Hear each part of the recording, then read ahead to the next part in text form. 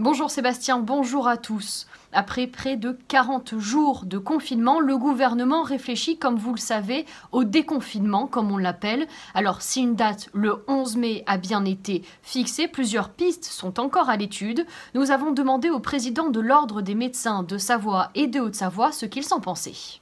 Concernant euh, les annonces faites euh, par le gouvernement, notamment les réouvertures des écoles dans certaines régions dès le 11 mai, qu'est-ce que vous en pensez?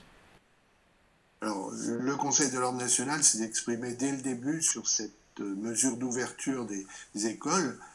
certes, il faut qu'à un moment donné, les enfants retrouvent, retrouvent le chemin des, classes et retrouvent leurs petits camarades, mais on sait bien que les enfants peuvent être quand même vecteurs donc, euh, avant l'aspect économique que représente le, déconfinement, comme on l'appelle, l'aspect sanitaire doit être prioritaire. C'est-à-dire que les conditions de retour en classe doivent être bien définies par les scientifiques, par les infectiologues, que les mesures d'hygiène et de protection à la fois du, personnel de l'éducation nationale, mais aussi des enfants et de leurs parents et de leurs grands-parents ensuite, euh, soient pris de façon sécurisée, là aussi en faisant en sorte que euh, les mesures barrières puissent être euh, apportées, que les protections soient données aux personnes, que la distanciation sociale, hein, l'écart entre les gens soit suffisant pour que les enfants ne puissent pas à nouveau redémarrer une, une nouvelle vague trop rapide par rapport à cela. Le 11 mai prochain, normalement, les commerces devraient pouvoir rouvrir à l'exception des bars et des restaurants. Est-ce qu'il n'y a pas une crainte de se dire que les gens vont peut-être se ruer dans ces commerces et donc que les règles sanitaires vont complètement être balayées à ce moment-là? Bah, Écoutez, je, crois que je crois qu'il faut en appeler au civisme et à la citoyenneté de chacun.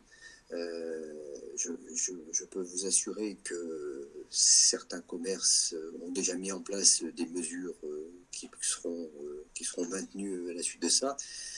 mais je peux vous le dire pour l'avoir vécu moi-même, même si effectivement j'ai peu de temps pour le faire, mais je suis allé faire des courses et je me suis rendu compte que dans certains commerces, les mesures de distanciation sociale n'étaient pas forcément toujours très respectées.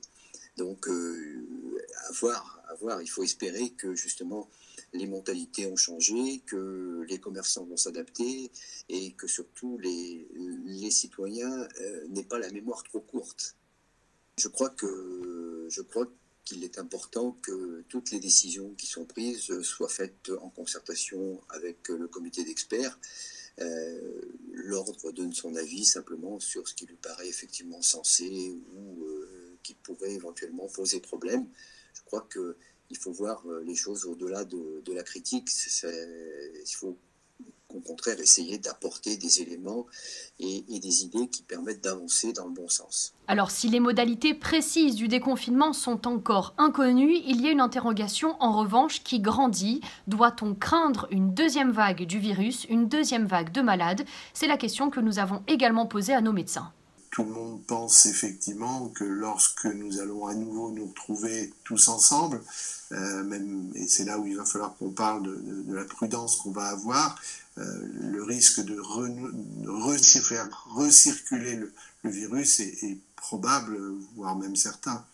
Et, et, donc ce qui est important à comprendre, c'est que le 11 mai n'est pas la libération, c'est pas la Coupe du Monde de foot et la finale, c'est euh, une étape, c'est un début, c'est une date symbolique parce que pour beaucoup de gens, ce confinement est, lourd et difficile, euh, personnellement, psychologiquement, euh, économiquement évidemment, et que l'arrivée de, cette date, on l'attend, mais on la redoute parce qu'effectivement, on va à nouveau se voir, se croiser, voire s'embrasser ou se serrer la main.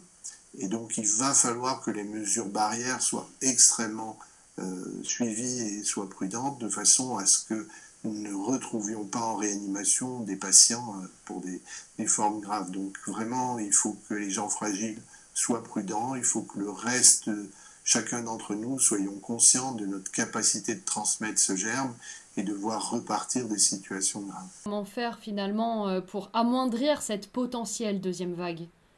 Alors, effectivement, mettre, déjà demander peut-être aux, gens de, euh, à la population de porter des masques, ce qui permettra euh, aux gens euh, potentiellement contaminants et qui ne se savent pas malades de contaminer des gens sains. Ça, c'est la première chose.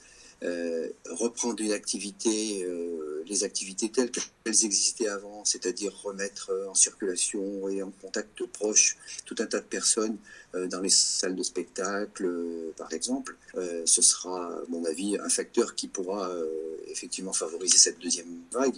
Je crois qu'il faudra, il faut qu'on change nos, habitudes, notre façon de faire, qu'on respecte encore pendant euh, quelques mois, peut-être même plus, peut-être euh, quelques années, cette distanciation sociale qu'on a mis en place. Voilà, c'est difficile, hein, c'est difficile de dire parce qu'on ne sait pas exactement comment les choses vont évoluer. Alors, euh, ce qui est vrai maintenant sera peut-être totalement faux dans quelques temps, et puis peut-être qu'effectivement il y a des choses qui vont apparaître et comme auxquelles on n'avait pas pensé. Et j'ajoute que mercredi prochain, à la suite du Conseil des ministres, le Premier ministre Édouard Philippe devrait annoncer le plan de déconfinement national.